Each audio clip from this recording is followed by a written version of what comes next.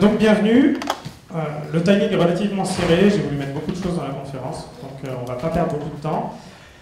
Euh, si vous voulez discuter après la conférence, ou vous voulez rentrer en contact avec moi, n'hésitez pas, j'ai mis mon adresse mail, mon compte Twitter en haut à droite. Les slides seront disponibles sur mon site euh.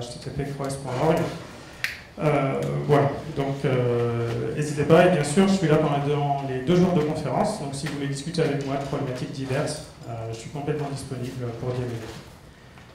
Alors je vais commencer cette, cette présentation par vous libérer d'un poids terrible, quelque chose un petit peu chimérique qu'on a tous en tête quand on commence à travailler. Le programme parfait n'existe pas. Ça n'existe pas, inutile de chercher à le réaliser. Alors, si vous étiez venu pour euh, avoir tout un tas de techniques euh, qui vous permettent d'arriver à ce programme parfait, je suis navré, on ne va pas du tout aborder ce sujet-là aujourd'hui dans la présentation. Je vais me contenter de vous proposer, de vous décrire des fondations qui, selon moi, bien sûr, euh, donnent de quoi faire une application qui tourne, qui réponde aux besoins, qui soit évolutive et qu'on puisse maintenir. Ce qui est finalement le besoin. Alors, si vous n'êtes pas trop déçu, que vous décidez quand même de rester, bienvenue. Ça, c'est à peu près le nuage de mots que j'avais en tête quand j'ai fini ma formation sur la programmation orientée objet. Ok. Euh, il y a des objets, des propriétés, des classes, des méthodes, les objets encapsulent tout un tas de solutions, les objets héritent les uns des autres, soit. Le polymorphisme, un magnifique mot où vous vous dites super, je vais briller en société. Alors en réalité, du moment que vous apprenez la signification de ce mot, il n'y a plus de société qui vous invite à dîner, ça c'est un autre problème. Et s'ajoute ensuite tout un tas d'autres mots, euh, UML, modélisation, interface. Donc qui là sont beaucoup plus abstraits au moment de la formation, parce qu'on n'a aucun sujet qui permette de mettre ça en pratique raisonnablement. Donc moi, en sortant de ma formation, j'avais l'impression que, ok, j'avais compris ce qu'on m'avait expliqué et j'appliquais ce qu'on m'avait expliqué assez bêtement. Assez bêtement parce que je n'avais pas l'expérience nécessaire. Je suis arrivé dans le monde professionnel, dans ma première SS2I, et là j'avais les yeux brillants. J'avais rencontré tout un tas de professionnels qui avaient l'habitude de travailler sur des projets d'entreprise, des projets d'envergure. Je suis allé vers un chef de projet technique, prêt à lui montrer ma motivation, mes compétences. Regarde à quel point je suis prêt à bosser sur ton projet. Et tout ce que je suis arrivé à lui montrer, finalement, c'est les yeux écarquillés et ma bouche bée. Je ne comprends rien à ce qu'il me raconte. Donc une avalanche de concepts qui représente finalement la programmation orientée objet telle qu'on peut la rencontrer dans le monde professionnel. Des patterns, du MVC, des architectures en couche, jamais entendu parler. Alors ça ne m'a pas spécialement découragé, parce que comme tout informaticien, je suis prêt à bosser beaucoup plus pour en faire beaucoup moins. En réalité, je ne suis pas sûr que j'ai fait beaucoup moins que si j'avais voulu en faire plus, mais bon. Revenons à la programmation orientée objet. Qu'est-ce que c'est, fondamentalement? Qu'est-ce que la programmation orientée objet, telle qu'on nous l'apprend, telle qu'on peut la voir dans les tutoriels? Une classe voiture, alors je ne sais pas pourquoi on parle de classe voiture, parce que moi j'ai jamais développé une classe voiture. Euh, des héritages, des notions d'encapsulation, des propriétés, des comportements. Soit. Mais tout ça pourquoi? Alors j'aime bien quand je donne une présentation, toujours me repositionner en me disant euh, qu'est-ce que dit Wikipédia sur le sujet dont je vais parler?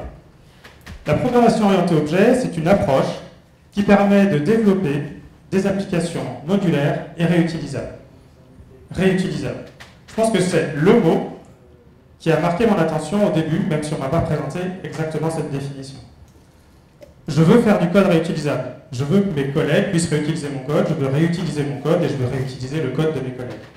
Mais qu'est-ce que c'est réutilisable? Ben, C'est déjà un code qu'on peut utiliser. Ça paraît bête, et donc c'est un code qui répond aux besoins et qui le fasse simplement et de façon élégante. Surtout, c'est un code que mes collègues doivent être en mesure de comprendre. Et ça, c'est vraiment une citation que je trouve particulièrement pertinente, qui devrait piloter notre activité au quotidien. Programmer un logiciel qui tourne, qui fonctionne sur l'ordinateur, c'est excessivement facile. Programmer quelque chose que les gens soient en mesure de lire et de comprendre, ça, c'est l'enjeu du métier de développeur. C'est vraiment ça. Donc la présentation va être architecturée autour de, trois points. Le premier point, on va refaire un petit peu le tour de ce que c'est que le travail d'écriture. Comment on écrit un logiciel. Vraiment, notre travail d'auteur. Le deuxième point, quelles sont les briques techniques qu'on va pouvoir mettre en œuvre, quels sont les principes qui vont guider nos choix d'architecture.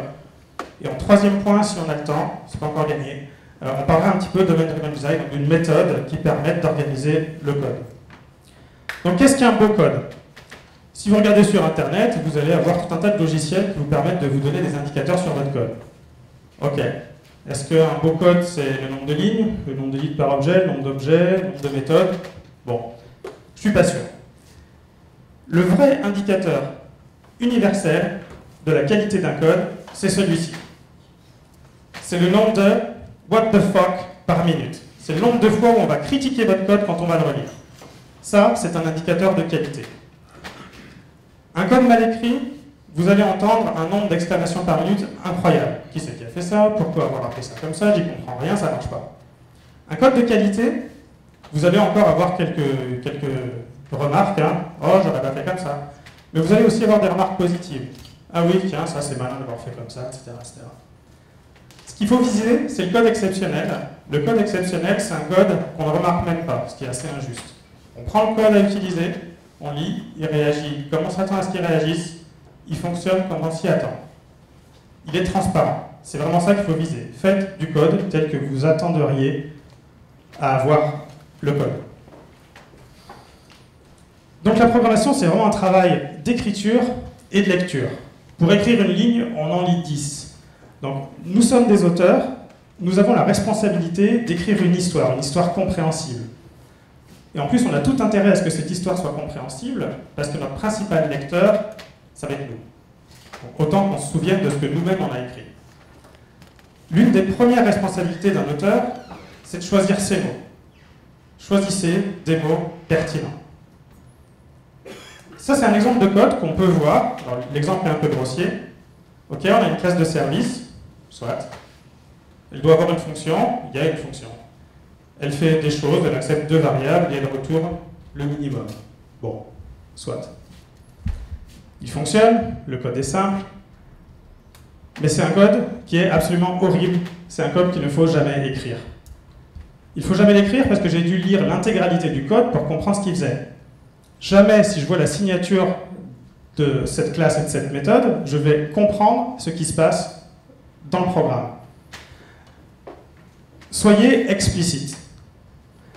Donc, chaque mot, chaque nom de classe, chaque nom de variable, chaque nom de méthode doit représenter exactement le contrat que vous êtes en train d'implémenter. Ici, c'est nettement plus compréhensible. Ok, j'ai une classe de service, on compare des noms, soit. Et là, j'ai une méthode getMinimum. Tout de suite, j'ai compris ce qui se passait, j'ai pas besoin de lire le code. C'est vraiment ça qu'il faut viser.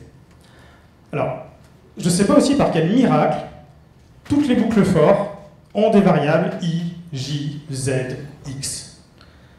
Moi, quand je débug un code, je vois notice à la ligne temps. J'arrive là-dessus, echo data i, j. Super. Merci de l'information. Donc, on n'y comprend rien.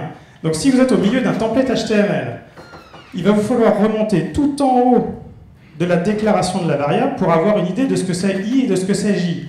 Ok, i c'est la position de la personne, j c'est la position de l'adresse. Donc pourquoi demander à votre lecteur de faire un travail mental sur ces variables alors que vous pourriez lui donner directement ce à quoi correspond cette variable Il est quand même plus, plus pratique de lire data, numéro personne, numéro adresse que i, j. Soyez explicite chaque fois. Alors c'est exactement la même chose avec les boucles for each. Hein. Dans la documentation, on s'est dit on va mettre for each key value, et du coup de partout on a for each key value. Merci de l'information. Non. Soyez explicite. Produit à facturer, ajoute non produit, prix, c'est nettement plus clair. Considérez que votre code ne sera jamais lu du début à la fin. Votre code est lu par morceaux. Chaque ligne doit être aussi explicite que possible. Chaque ligne doit bah, s'expliquer d'elle-même. Alors les exemples que j'ai donnés sont un petit peu grossiers, et on trouve des éléments beaucoup plus subtils dans la vraie vie, dans le vrai code qu'on fait tous les jours. Là, on pourrait se dire, ok, bon bah, PDF Generator, get PDF, une chaîne de caractères, un nom. Ça paraît correct. Pour autant, demain, vous devez l'utiliser. Ok, euh, get PDF, ça me donne quoi? Euh, Le nom du fichier, euh, le contenu binaire, string, je lui donne quoi? Du HTML, du RTF, du markup? J'en sais rien. Le nom, je lui donne quoi? Le nom du fichier, le nom du modèle, le nom de la police par défaut? Mon nom? Je ne sais pas. Je ne sais pas comment appeler cette fonction. Donc n'ayez pas peur d'être verbeux, soyez précis.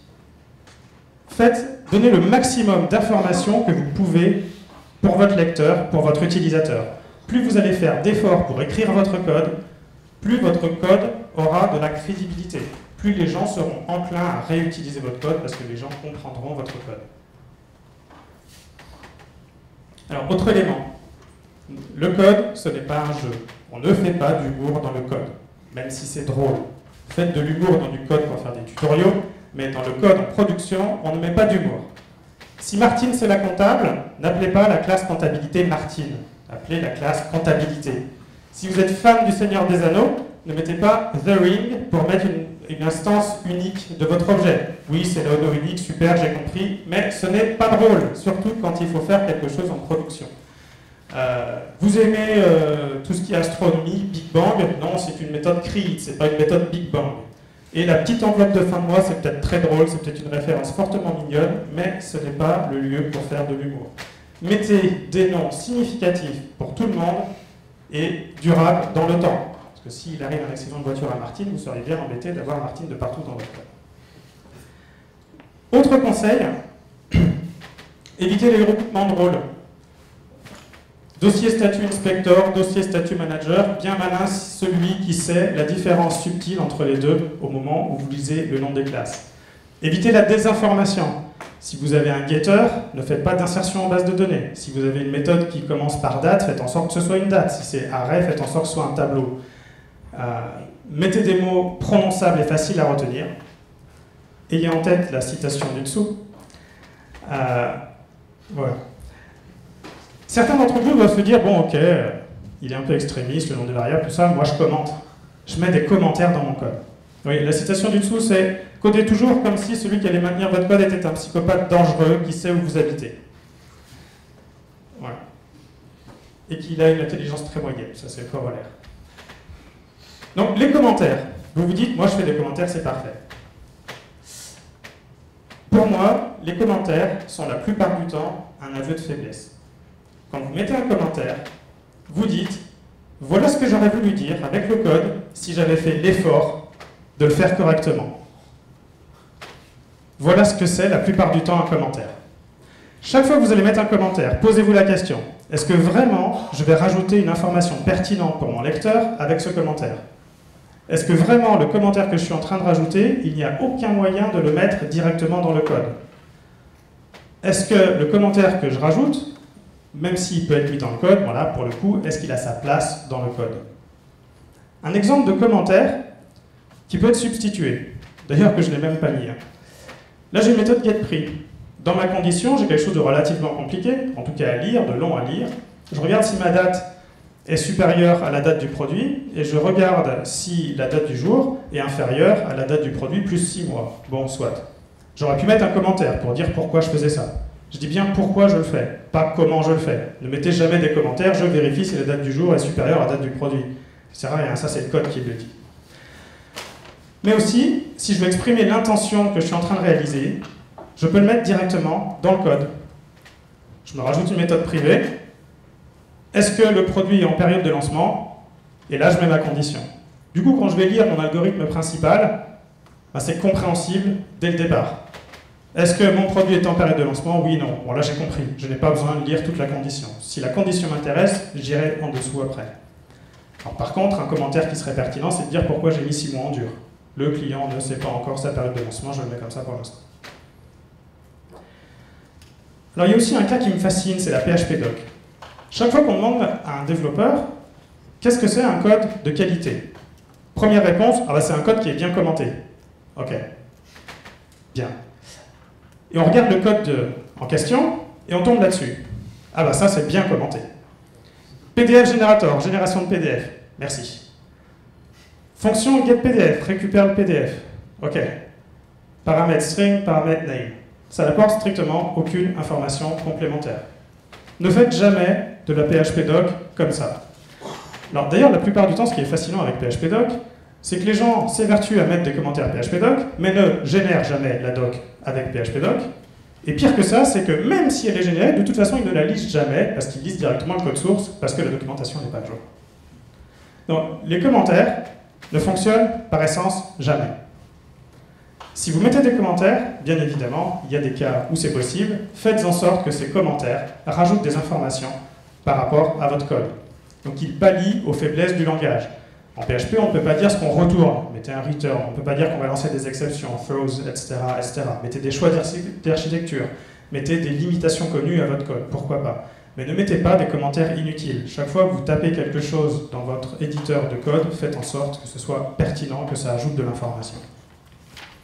Dernier point, prenez des conventions, respectez-les, popularisez-les. Il vaut mieux un code qui soit dans son ensemble cohérent qu'un code avec des parties brillantes et qu'un code avec des parties médiocres.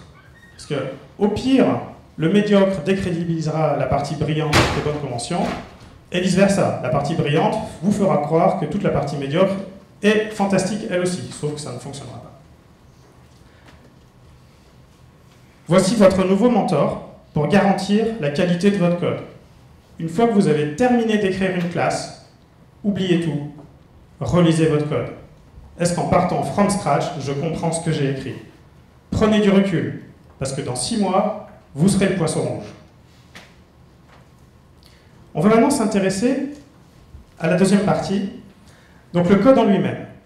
Quelques principes d'architecture de code. Il y a un paradoxe dans la programmation, dans le métier de développeur, qui est d'ailleurs assez frustrant. C'est le jour où vous devez faire quelque chose, bah, vous n'y connaissez rien. Bonjour, est-ce que tu pourrais faire un système de facturation pour euh, les assurances euh, d'invalidité? Oui, bien sûr. Mais vous n'y connaissez strictement rien. Et on vous demande d'inventer une solution brillante, fantastique, évolutive, qui prévoit le futur, de quelque chose que vous ne comprenez pas.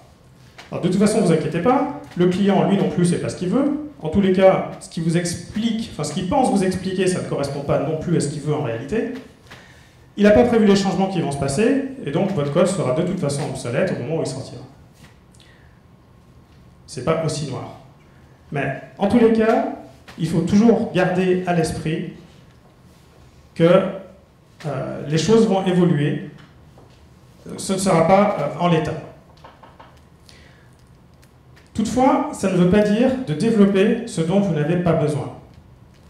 Développer ce dont vous avez besoin au moment où vous en avez besoin. C'est pas parce que les choses vont changer qu'il faut inventer le futur.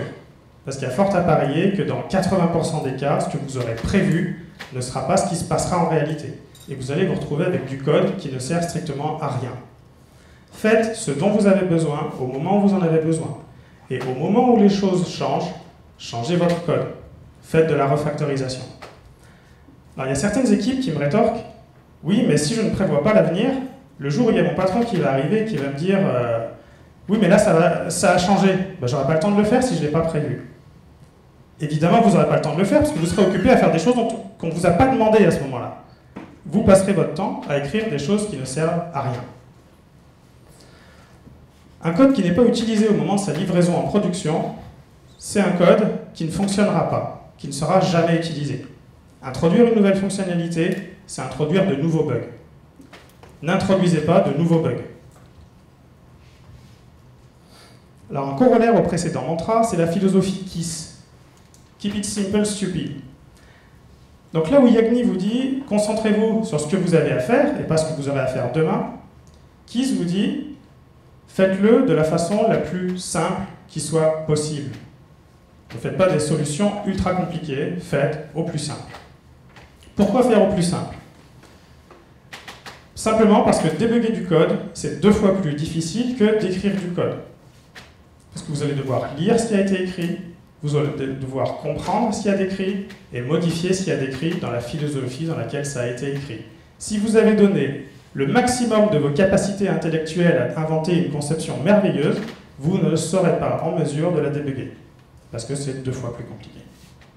Donc le seul bénéficiaire de ces pratiques, c'est vraiment vous. Plus vous avez un environnement simple, plus vous savez naviguer dedans. En pratique, n'ayez pas honte de faire des choses comme ça. Enfin, j'espère. Imaginons votre client. Votre client arrive et vous dit, voilà, je vais vendre des produits. Je vais vendre des produits, pour le moment, j'en ai qu'un seul. J'aimerais bien un jour un catalogue produit. Je ne sais pas encore ce que je vais faire comme catalogue, comment je veux le regrouper, etc. Soit. Vous savez qu'il a besoin d'une notion de catalogue un jour. Ne développez pas une interface d'administration produit euh, pour lui, dans lequel il mettra son produit. Faites, prévoyez qu'il y aura un catalogue un jour. Faites l'implémentation la plus naïve qui soit possible. Ça vous prend 5 minutes et vous avez répondu à son besoin. De toute façon, le code qui utilisera votre bibliothèque ne saura même pas que vous avez fait quelque chose d'aussi bête que ça. Que vous alliez dans une base de données ou que vous retourniez un produit en dur, le code client qui utilise votre bibliothèque n'a pas conscience de ce qui se passe. Proposez des contrats simples, proposez des contrats qui correspondent au processus métier de votre client, utilisez-le, faites au plus simple. Quelque chose d'un petit peu provoque, personne n'a besoin d'objets. On programme objet, mais nous n'avons pas besoin d'objets. Ça ne sert à rien. Vous avez besoin d'une solution, pas d'une façon de résoudre un problème. Ce dont vous avez besoin, c'est vraiment cette solution. Pour faire un parallèle, votre employeur n'a pas besoin de vous, il a besoin de quelqu'un qui sache informatiser son système. Vous n'avez pas besoin d'un papier et d'un crayon, vous avez besoin de vous souvenir dans quelques temps ce que vous avez vu, ce que vous avez jugé pertinent. Aujourd'hui, c'est un papier-crayon, demain, ce sera peut-être les Google Glass, ce sera peut-être euh, une tablette, d'ailleurs aujourd'hui, un ordinateur ou quoi que ce soit. Pensez au niveau problème, ne pensez pas au niveau solution. Ce ne sont pas les acteurs qui font euh, la solution, ce sont les interactions. Pensez interaction. Utiliser des interfaces, penser une conception grâce aux interfaces, c'est s'assurer d'un certain niveau de souplesse, donc de découplage des composants. En parlant de découplage, il aurait été difficile de parler programmation objet sans parler design pattern. Au cas où, ceux qui ne connaissent pas les design patterns, j'ai fait la liste des design patterns les plus communs. Généralement, quand on parle design pattern, on va parler de ceux du GOF, du Gang of Four. J'ai mis les, références de livres juste après. Donc très bien, les design patterns, c'est parfait. Connaissez-les, étudiez-les si vous le souhaitez. Si vous n'avez jamais étudié les design patterns, je vous ai mis en gras ce que je considère le plus pertinent dans un processus d'apprentissage. Euh, regardez-les, euh, c'est parfait. Donc si vous voulez la liste exhaustive des design patterns, je vous ai également mis la liste des ouvrages qui présentent les différents design patterns les plus populaires. Alors, pourquoi je parle des patterns? Personnellement, j'ai été un fan des premières heures, en tous les cas dans la, communauté PHP, euh, des design patterns. Je les ai étudiés, j'ai trouvé ça fantastique. C'est un catalogue d'architecture. Un catalogue d'architecture qui vous donne des solutions connues à des problématiques connues. Bien. Vous travaillez à la conception en étudiant les patterns. Vous allez voir des problèmes, voir des façons de résoudre, donc vous allez apprendre à jouer avec la programmation objet. Vraiment, il faut considérer les design patterns comme les gammes qu'un pianiste pourrait faire. Vous allez assouplir votre conception, mais le but, c'est pas d'écrire des patterns. Le but, c'est d'implémenter une solution pertinente à un problème. Et ça, c'est un peu l'inconvénient des patterns c'est qu'une fois qu'on a un marteau en main, on a l'impression que tous les problèmes sont des clous. vraiment, les patterns, c'est la même chose. Ne sombrez pas dans le défaut principal de ces patterns qui vous encouragent à trouver des patterns dans vos problématiques et donc d'utiliser ces patterns pour résoudre des problématiques. Reconnaissez les problématiques telles qu'elles se présentent, utilisez les patterns si jamais la problématique correspond exactement, mais n'utilisez pas les patterns si le problème n'est pas exactement solutionné par ce pattern. Et j'ai vu des choses terribles justement dans la mauvaise utilisation des patterns. Le but d'un pattern, normalement, c'est d'aider à communiquer entre développeurs. Si tous les deux on sait ce que c'est qu'une fabrique, je vais appeler mon, ma classe fabrique quelque chose et vous savez que je vais fabriquer quelque chose. Parfait. Par contre, ça peut générer des incompréhensions si vous avez un exemple de code comme celui-ci. Donc là, j'ai Price Factory, et en réalité, je ne construis absolument pas un objet prix, je calcule le prix total de la commande. Ce n'est pas une fabrique. Là, je calcule le prix commercial. Ce n'est pas une fabrique. Une fabrique, ce n'est pas ça. Donc, les patterns, étudiez-les, connaissez-les, mais ne les utilisez, en tout cas ne les référencez dans votre code, que si vous êtes absolument persuadé de connaître la définition exacte, les cas d'utilisation exacts des patterns. Le meilleur pattern qui soit, c'est celui que vous inventez pour votre problématique. Faites des solutions spécifiques, adaptées. N'utilisez pas des mauvais patterns pour des solutions approximatives. À propos du découplage, j'aime beaucoup cette citation également. Ne sombrons pas dans le code lasagne, qui est la version objet du code spaghetti. Trop de couches. Découplez juste ce dont vous avez besoin. On va maintenant s'attarder. Quelle heure J'ai encore, euh, encore un quart d'heure. Ok. Euh, on va s'attarder maintenant sur la partie solide. Solide, c'est quelque chose qu'on entend tous les jours hein, quand, on, quand on travaille dans une équipe. Ah là là, c'est pas solide. Ok. Qu'est-ce que c'est que solide On va s'attarder un tout petit peu sur ce que c'est. C'est le regroupement de cinq principes. Le premier principe, qui est le plus facile à dire mais le plus difficile à comprendre, c'est le principe de la responsabilité unique. Qu'est-ce que c'est qu'une responsabilité? Est-ce que c'est un getter Est-ce que c'est un setter Est-ce que c'est une méthode? Alors, il y a eu des tentatives de reformulation. La responsabilité, c'est une seule raison de changer. Waouh Ça nous en dit pas spécialement plus. Qu'est-ce que c'est qu'une raison de changer? Changement modèle Changement processus Je ne sais pas. Pour ma part, j'aime bien voir une responsabilité comme une tâche unique dans mon système. Je prends mon système, je le décompose en multiples responsabilités, qu'est-ce que j'attends de lui? Et un composant doit prendre en charge une seule de ces responsabilités. Et sinon, le meilleur exemple, hein, c'est de prendre les éléments de la vraie vie. Euh, prenez votre ordinateur, parce que la vraie vie, d'accord, mais quand même. Votre ordinateur, il est composé d'un écran, d'une unité centrale. Dans l'unité centrale, vous avez une carte graphique, une carte son. Dans la carte son, vous avez des transistors, etc. etc. Chaque composant ne sait faire qu'une petite tâche unique. Quelques exemples de rupture du, principe. Un vélo qui s'est gonflé ses pneus, un article qui envoie un email, le pattern active record, qui est une violation du principe de responsabilité unique, parce qu'à la fois vous avez euh, la logique de persistance et à la fois la logique de l'objet en question.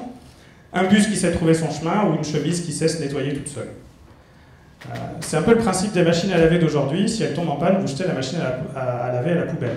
Vous ne voulez pas jeter votre code si on change une règle métier. Vous voulez le réutiliser. Donc décomposer les responsabilités de votre application. Un autre principe, c'est le principe ouvert-fermé. En gros, vulgariser, c'est une nouvelle fonctionnalité, une nouvelle classe. Si jamais vous devez ajouter un comportement à votre application, pas modifier une fonctionnalité existante, hein, ajouter un comportement, une fonctionnalité, vous devriez être en mesure de le faire grâce à un nouveau code et pas grâce à une modification de code. Imaginons un système de cartographie, je veux trouver le chemin le plus court euh, en temps et au lieu du chemin le plus court en kilomètres. Vous devriez pouvoir le faire grâce à un, nouvel objet qui se chargera de chercher ce chemin. Une stratégie par exemple. Donc vous ne devriez pas modifier votre code existant pour pouvoir faire cela. Vous devriez vous contenter d'ajouter de nouveaux composants. Ce n'est pas toujours possible. Votre architecture, peut-être qu'elle n'est pas prévue pour accepter de telles modifications dès le départ. Ce n'est pas grave. L'essentiel, c'est qu'à au final, l'architecture qui en résulte agisse comme si vous aviez rajouté ce nouveau composant. Le principe, c'est de toujours faire émerger une architecture finale de qualité et non pas de la prévoir dès le départ. La refactorisation, c'est l'essence même de la programmation.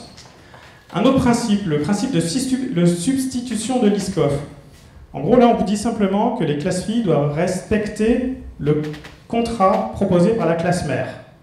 Si votre classe, fille, si votre classe mère pardon, vous propose d'envoyer un message, toutes vos classes filles doivent respecter ce contrat, le même contrat. N'ajoutez pas d'étapes dans le workflow, donc ne demandez pas à vos clients d'appeler une méthode prépare avant, et ne modifiez pas la signature de votre contrat. Si vous modifiez la signature, si vous modifiez le workflow, vous ne faites plus d'héritage, vous créez de nouveaux comportements. Et donc vous rompez votre arbre de compatibilité dans une architecture objet. Alors ça, c'est un principe que j'aime beaucoup, l'interface ségrégation. Ne dépendez que du strict nécessaire. Ne faites pas la superbe interface magique que vous allez transférer de partout dans votre code. Ça ne sert à rien. Ne dépendez uniquement que de ce qui est nécessaire à vos services. Un exemple. Une interface personne. Un habitant ok, qui implémente la personne et un système d'imposition.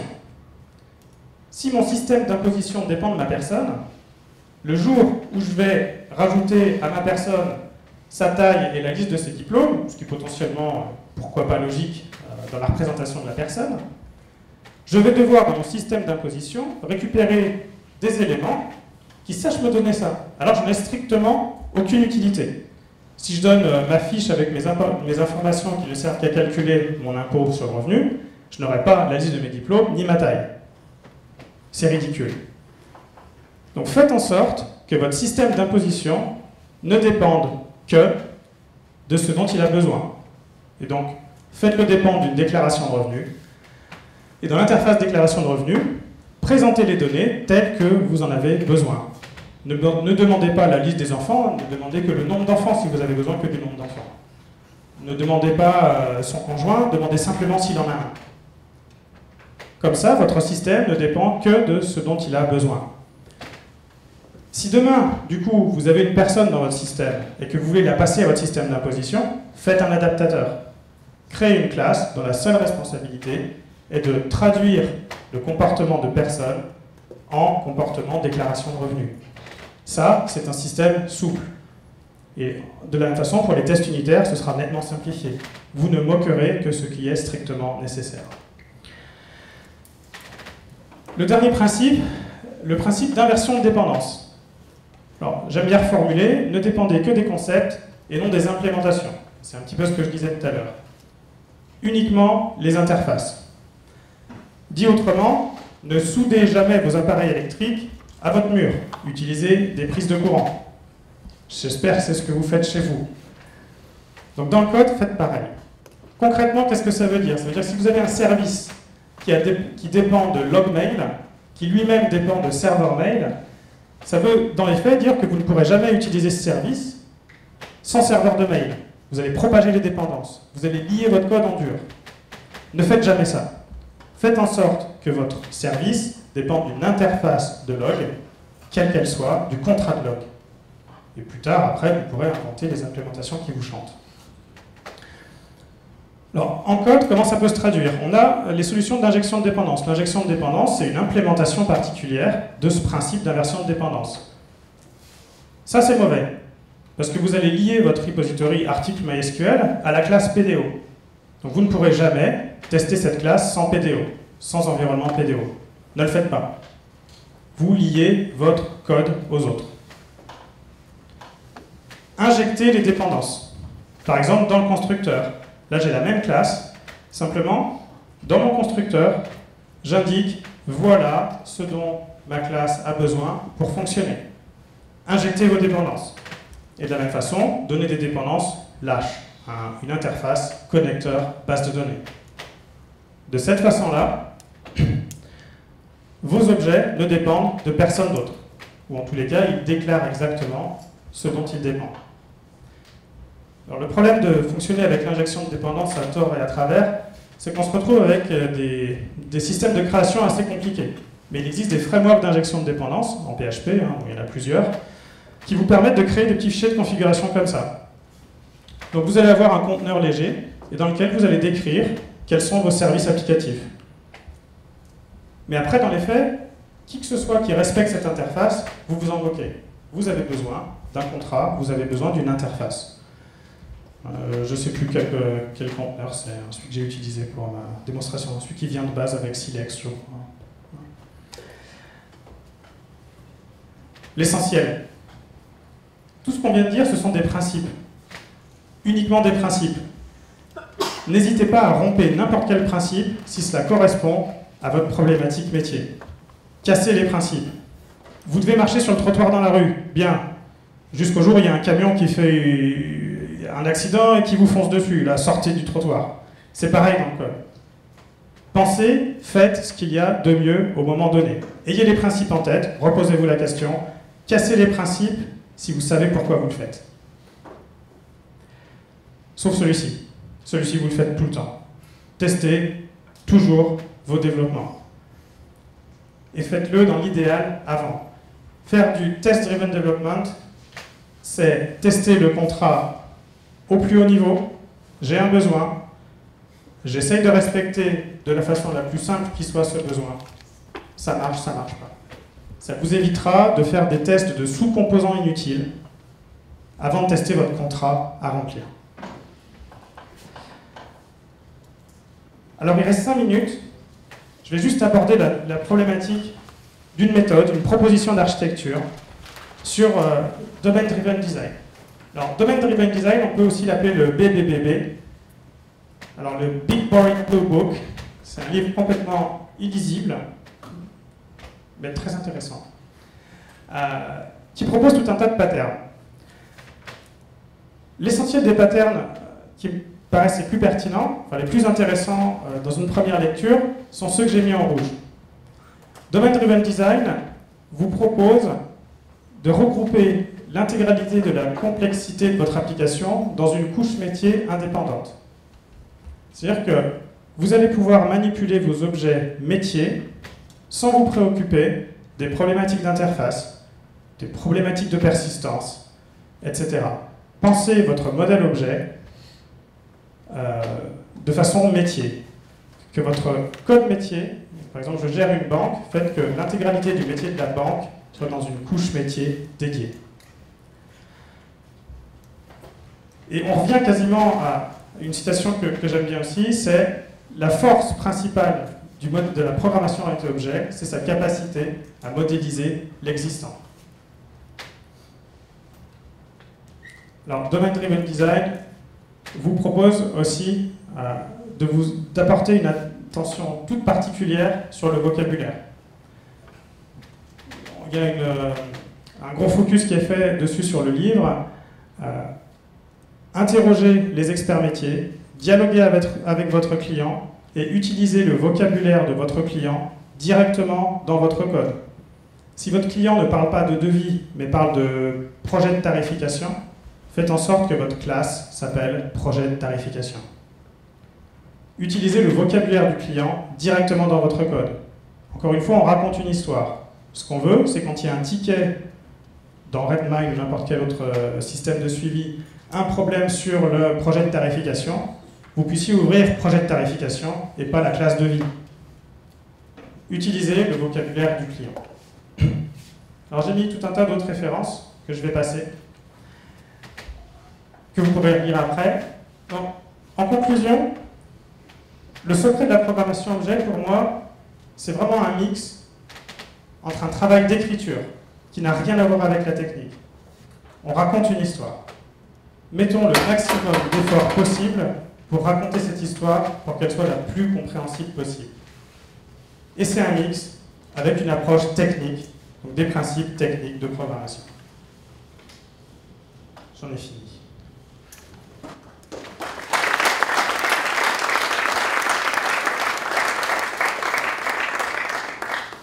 Alors, est-ce que vous avez des questions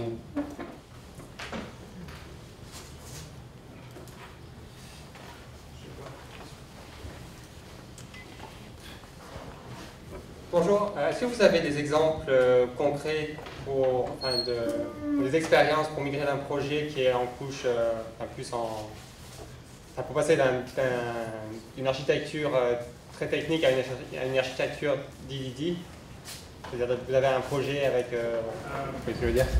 Ouais. Euh, je ne sais pas si ça marche. Hein. je vais répondre à voix haute. Euh, alors c'est vrai que des DD, du coup, on n'en a pas beaucoup parlé.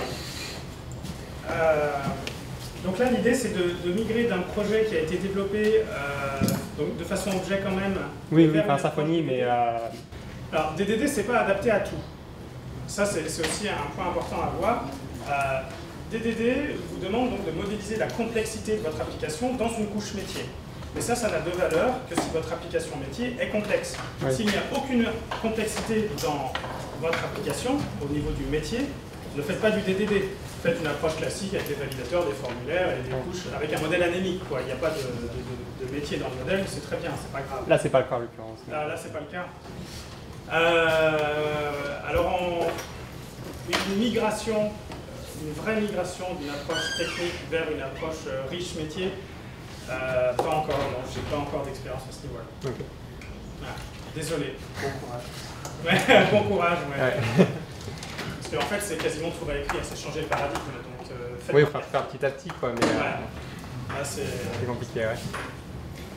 Une dernière question Ah, ça va faire plaisir. Juste pour trouver un peu, on code en français, en anglais ou en franglais? Euh, en ce que vous décidez. Dans la langue que tu maîtrises. Voilà, enfin, décidez avec votre équipe Euh, avoir un get, je pense que c'est rentré dans les mœurs, on peut appeler get quelque chose. Euh, après, encore une fois, euh, moi j'aime bien avoir le vocabulaire du client dans le code. Si le client il parle d'études tarifaires, mettez pas price studying, c'est ridicule. Mettez études tarifaires. au début, je codais tout en anglais parce que j'aimais pas les accents et c'était plus pratique. Mais aujourd'hui, je fais du franglais avec du get quelque chose. C'est-à-dire j'utilise les vocabulaires euh, de pattern, les vocabulaires euh, get, set euh, en anglais, mais tout le reste, le, métier, je le mets en français. Parce que mon client est français. Effectivement, on a absolument fait. Une dernière question là. Vous avez dit le commentaire et la de plus belle. Oui, encore. le commentaire est la plus oui. Mais certaines structures du langage euh, sont assez complexes. Oui.